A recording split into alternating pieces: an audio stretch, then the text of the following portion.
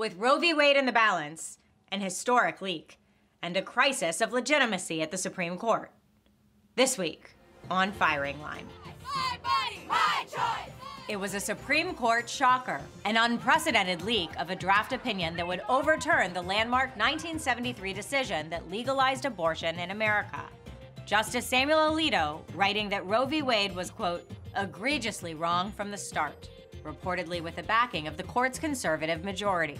If this draft resembles the final draft, um, this will be probably unnecessarily polarizing. Mary Ziegler is a legal historian and constitutional law professor specializing in reproductive rights. She's written four books on the history and politics surrounding Roe and signed a brief in the fall in support of the clinic in the current case. Justice Alito spends pages and pages uh, identifying Roe's defects, but broad strokes, Roe just made it up.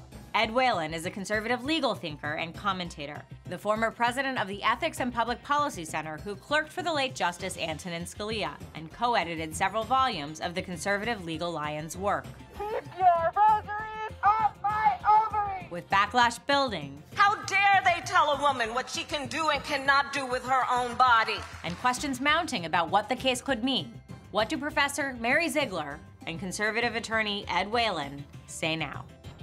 Firing Line with Margaret Hoover is made possible in part by Robert Granieri, Charles R. Schwab, the Margaret and Daniel Loeb Foundation, the Tepper Foundation, the Fairweather Foundation, the Asness Family Foundation, and by Craig Newmark Philanthropies, the Rosalind P. Walter Foundation, Damon Button, and the Simmons Family Foundation. Corporate funding is provided by Stephens Inc. and Pfizer Inc. Professor Mary Ziegler and Ed Whelan, you're both attorneys with years of accumulated expertise about the Supreme Court, the Constitution, and our laws in this country surrounding abortion. You have different perspectives on these issues, and I look forward to a thoughtful and respectful conversation with both of you on these sensitive topics. Welcome to Firing Line. Thank you. Thanks for having us.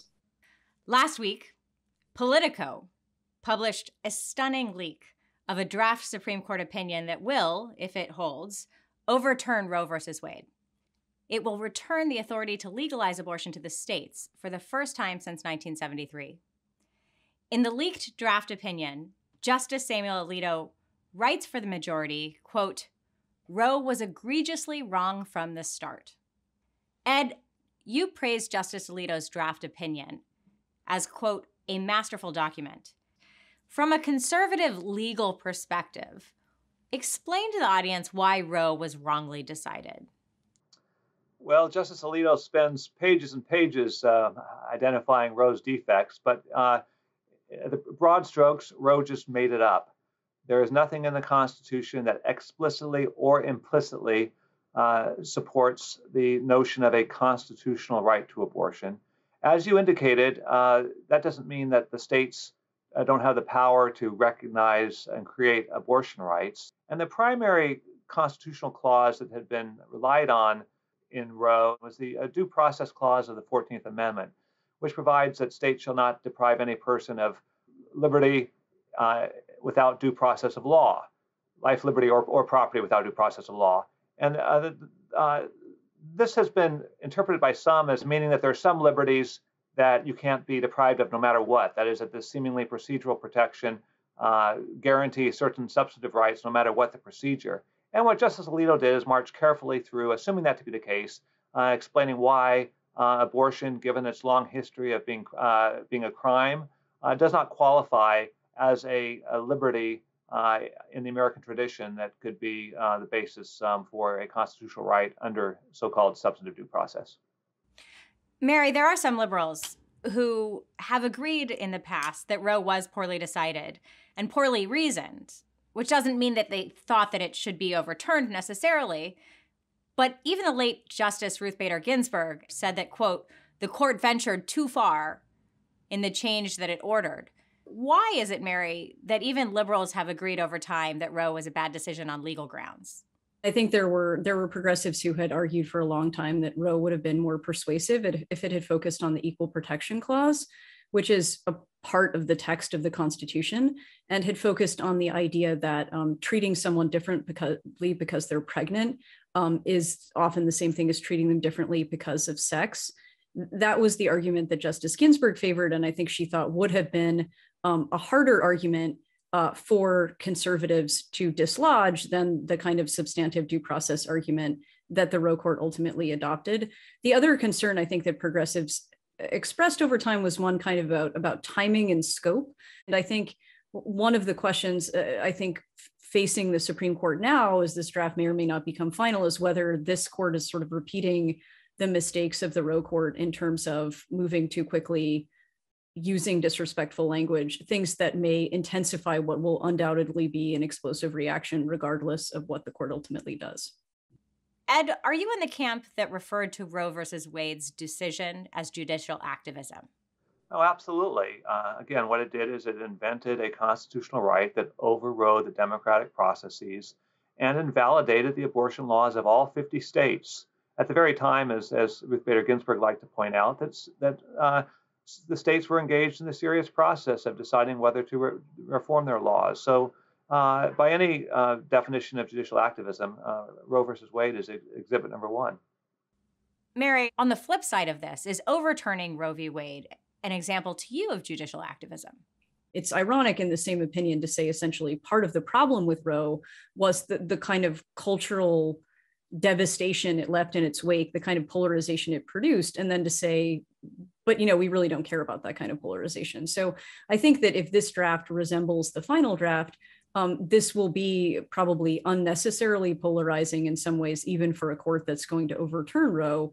Um, and I, you know, as someone who's not excited about the loss of faith in democratic institutions across the ideological spectrum, am not excited by the court um, taking a step that might undermine some people's perception of its legitimacy, even if the court is determined to overturn Roe what some constitutional lawyers have argued, including Justice Ginsburg, was that in retrospect, the better argument to uphold abortion as a constitutional right would have been through the Equal Protection Clause of the 14th Amendment, because laws against abortion disadvantage women and deprive them of autonomy over their bodies. Mary, as someone who's has written about the history of Roe, give us the historical perspective on why the Equal Protection Clause was not used. The leading arguments were about privacy, in part because that was what the court's precedents had focused on. So the court had decided, as Ed alluded to, recent substantive due process decisions about contraception, about marriage, about parenting, about you know the desire to, to procreate when the state didn't want you to. And so I think it was logical for at the time for um, abortion rights supporters to connect abortion to these precedents the Equal Protection Clause, it's also an argument used by those who argue against the constitutionality of abortion.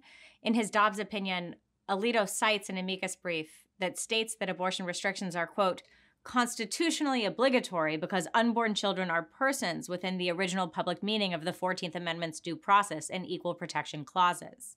Ed, could the Supreme Court rule to restrict abortions nationwide using this kind of argument?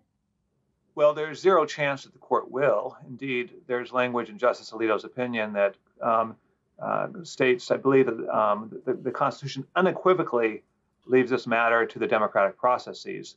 So uh, the personhood argument that you refer to is, I think, uh, much more persuasive than I than, uh, than I first thought. I don't ultimately accept it, but I find it much more powerful than Roe itself. And, and that opinion, do you think that those that language in the opinion is really enough of a guardrail to not influence the thinking of future justices in future cases?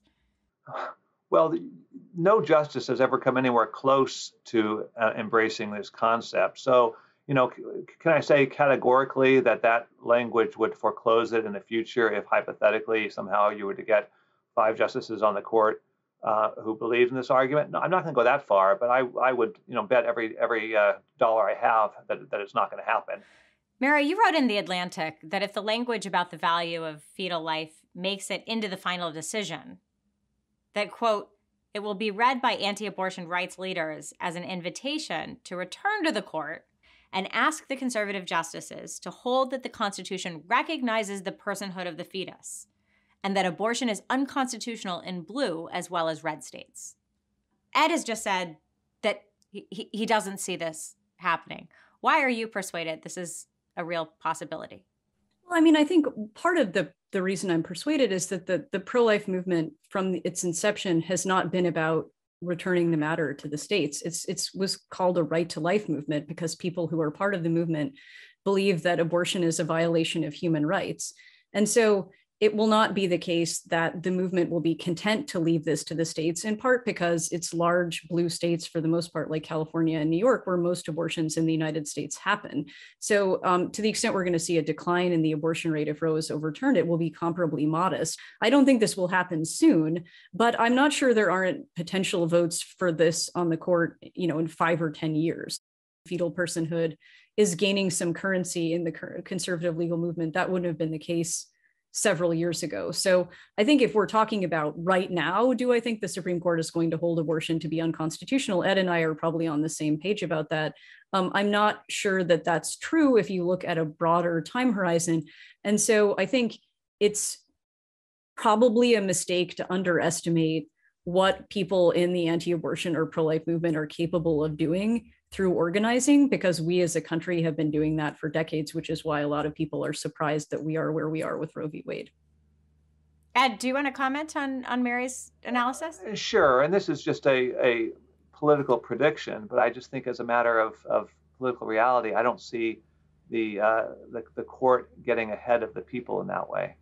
Even though, I mean, one could argue the court is ahead of the people in this way. All the recent polling suggests that a majority of Americans are in favor of Roe remaining in place.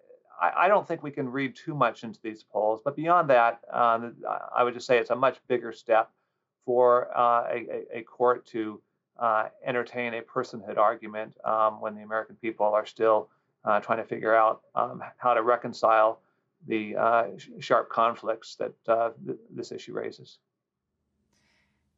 In November of 1972, just two months before the Roe v. Wade decision came down, attorney Roy Lucas was a guest on the original firing line with William F. Buckley Jr., and he was arguing in defense of abortion rights.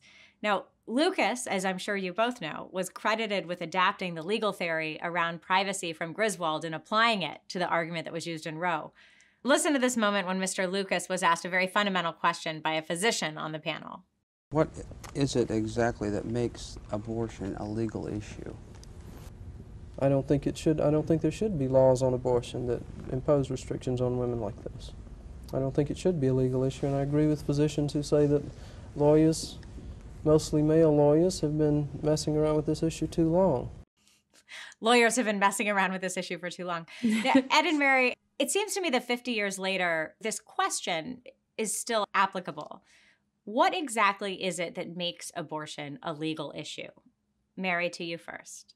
Well, different parts of our government have been making abortion a legal issue for better or worse um, now for centuries. So I think um, the objection that abortion shouldn't be a legal issue could equally be raised by folks on the right and the left, because lots of people in different ways have been making abortion a part of the law rather than either a purely moral or medical issue for some time. Uh, bottom line, it's a legal issue because it's something that uh, folks think the law ought to care about. Stare decisis is Latin for to stand by things decided.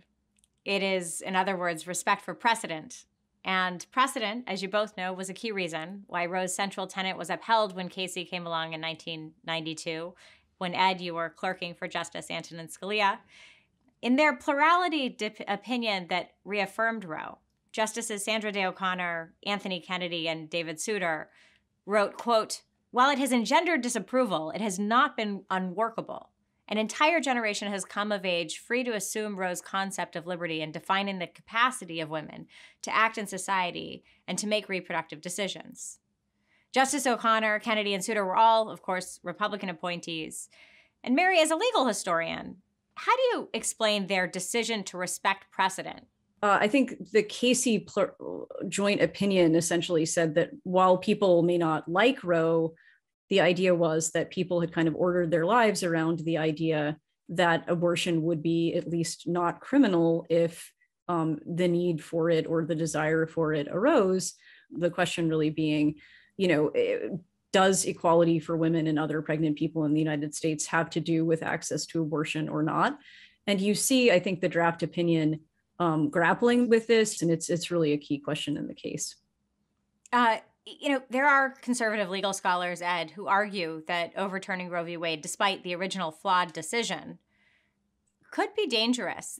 Um, prominent Federalist Society member George Conway, for example, recently said of Roe, I don't think it should be overruled. I think it's too late. It's 49 years down the pike. I think the stare decisis portion of Alito's draft opinion is absurd. How do you explain Alito's stare decisis arguments in his draft opinion?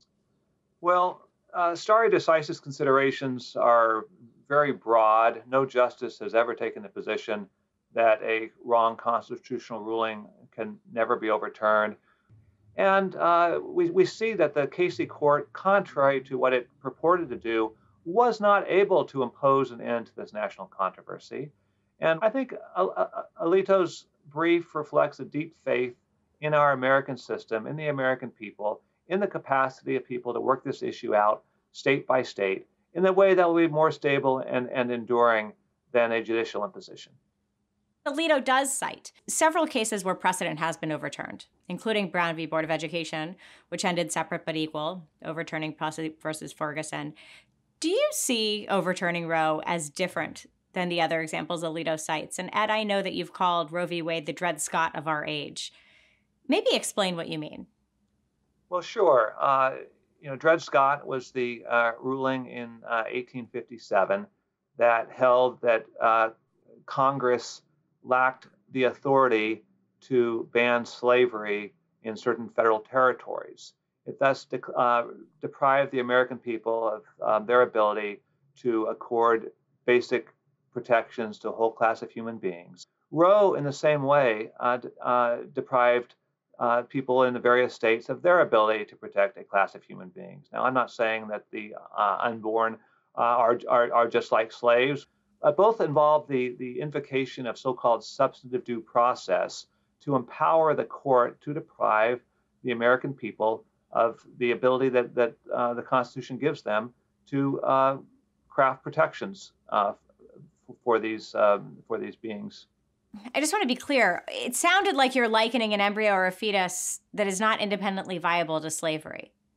No, I'm not. I, am I'm, I'm drawing uh, an analogy based on, on, on principle. That is, I'm saying that in both Roe and in Dred Scott, the court invoked substantive due process to prevent the democratic processes from operating in this basic area of conferring uh, protection uh, to a class of human beings. One need not go further than that.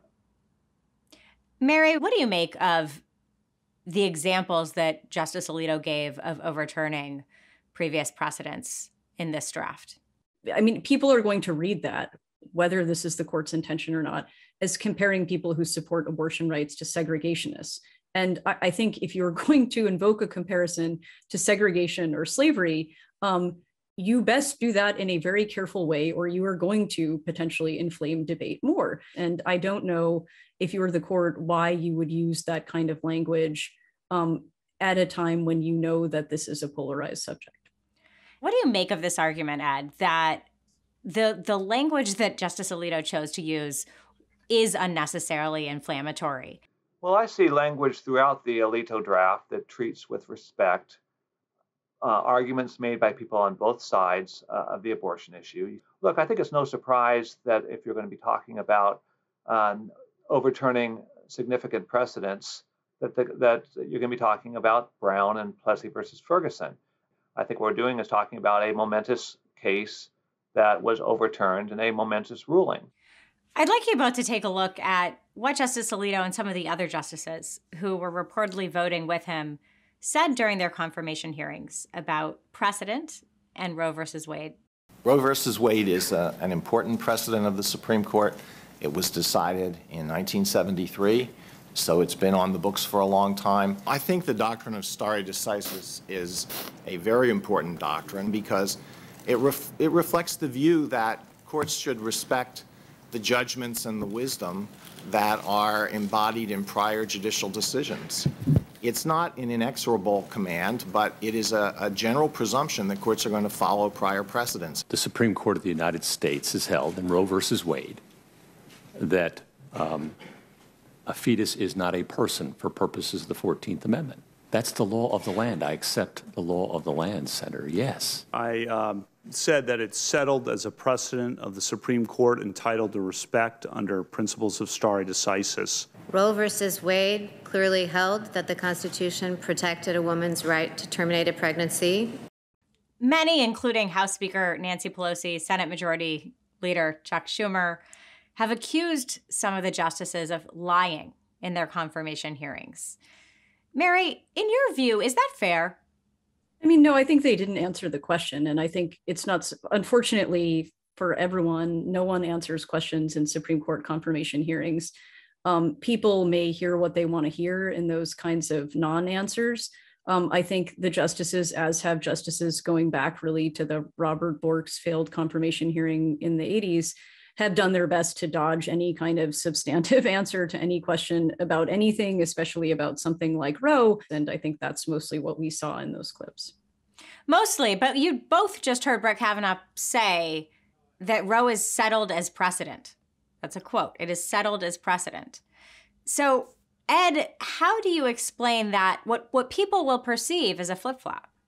Well, sh- they shouldn't. It's uh, tautological, if you like uh, a Supreme Court ruling is uh, is is precedent. Every uh, ruling is settled as precedent, and therefore you apply the stare decisis considerations um, uh, before making a decision to overturn it, and you overturn only if um, those factors support over, uh, overturning. So I think that uh, what is spelled out in the Alito draft is entirely consistent with the testimony of each of these justices you know, during his confirmation hearing in 2006, Justice Alito said that the court, quote, should make its decisions based on the Constitution and the law, and it should not sway in the wind of public opinion at any time.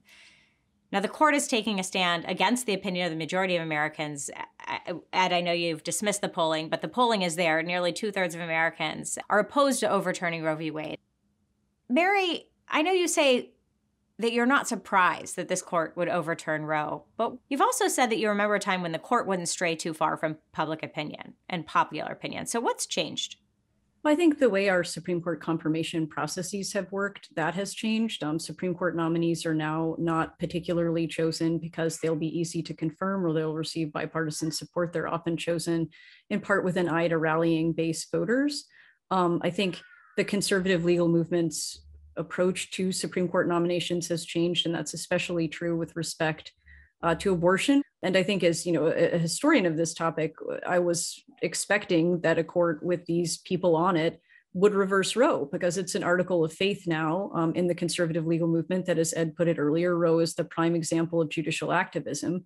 And if you put six people who have throughout their legal careers come to hold that belief, you would expect them to sooner or later act on that belief, whatever they profess in congressional testimony. Ed, what Mary's just described is that the imminent overturning of Roe v. Wade has been in the making in the conservative movement for decades. Is that fair? Oh, well, absolutely. Uh, I think that uh, Roe has long been uh, target number one for the conservative legal movement as an unjustified uh, ruling that deprived the American people of their ability to legislate on this very important matter. There are many other Supreme Court rulings that rely on similar reasoning to Roe. And there are some legal scholars who are now asking if other precedents will be overturned. Alito directly addresses this in his writing. Quote, We emphasize that our decision concerns the constitutional right to abortion and no other right. Nothing in this opinion should be understood to cast doubt on precedents that do not concern abortion. However, Mary, you tweeted that there is, quote, real tension between the draft's approach to constitutional rights and its reassurances about other decisions. Are other decisions related to issues like contraception, consensual sexual activity, and marriage now at risk of being overturned? I mean, I think not in the near term, but I mean, of course, Justice Alito himself wrote that Obergefell versus Hodges, the court's decision on um, same sex marriage, was wrongly decided and should be revisited for reasons I think very similar to those laid out in the draft. Um, that at the time the 14th Amendment was written, no one contemplated a right to same sex marriage, that same sex intimacy was being criminalized. So I would not be surprised if further down the road, justices who have expressed profound concerns about substantive due process in other contexts, including particularly same sex marriage, where you have Chief Justice Roberts, Justice Alito, Justice Thomas, who all have voted in a particular way on that already, being um, open to revisiting those precedents precisely because this, the methodology you see in this draft would generate a similar answer if you apply it to those matters. Ed, you know, how can one contain or isolate this logic from influencing justices' interpretations in future cases? Well, look, I think the question is whether there's anything in this ruling that uh, that that leads to uh, overruling these other precedents. Like I argued strongly against recognition of a of a uh, constitutional right to same-sex marriage, but I believe that that you look at the stare decisis factors, they apply very, very differently. Look, I think what we have here is a parade of horribles that people are trying to trot out uh, in order to broaden the coalition, the political coalition, to try to intimidate the justices into not overturning Roe. Mary Ziegler, Ed Whelan, thank you for joining me on Firing Line. Thank you. Thanks for having me. Firing Line with Margaret Hoover is made possible in part by Robert Granieri, Charles R. Schwab, the Margaret and Daniel Loeb Foundation, the Tepper Foundation, the Fairweather Foundation, the Asness Family Foundation, and by Craig Newmark Philanthropies, the Rosalind P. Walter Foundation, Damon Button, and the Simmons Family Foundation. Corporate funding is provided by Stephens Inc. and Pfizer Inc.